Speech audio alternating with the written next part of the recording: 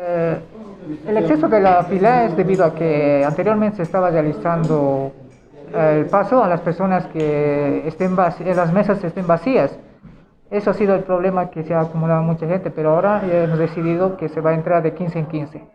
¿Cuántas mesas están habilitadas en este sector? Eh, son ocho mesas. ¿A los votantes?